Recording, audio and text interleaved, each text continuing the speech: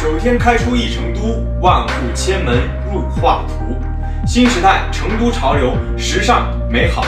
这座 C 位城市以全新形象再度出圈。新华网和网易的朋友们，大家好，我是龚俊，请随我来看看我喜欢的公园城市，我的家乡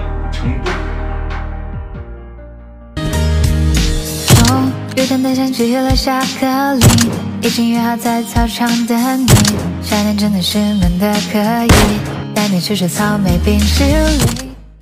在成都，时尚元素、古韵气息交相辉映，遍地可见摩天大厦，随处可遇古刹建筑。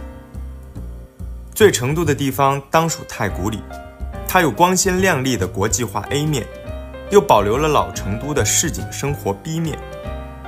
潮牌手店人头攒动，花天锦地；古刹大慈寺闹中取静，遗世独立。在这里。传统和现代总是不期而遇。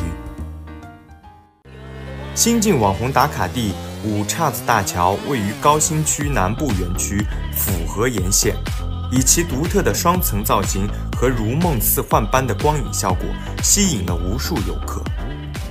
你在桥上看风景，看风景的人在楼上看你。成都人好吃，也会吃。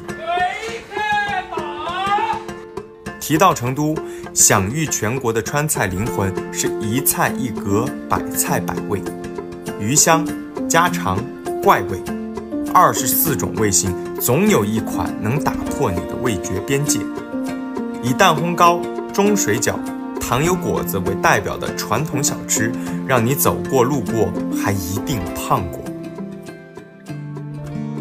还记得当年一首《成都》，唱红了玉林路上的小酒馆。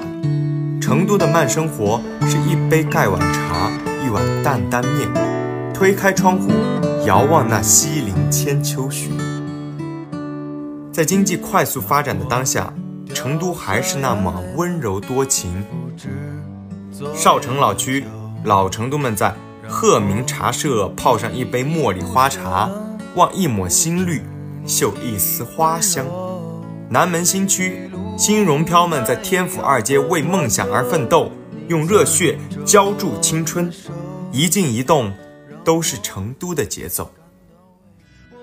我好喜欢你，成都，爱你，成都，请随我来走进成都，感受一下被天府之国宠爱的滋味吧。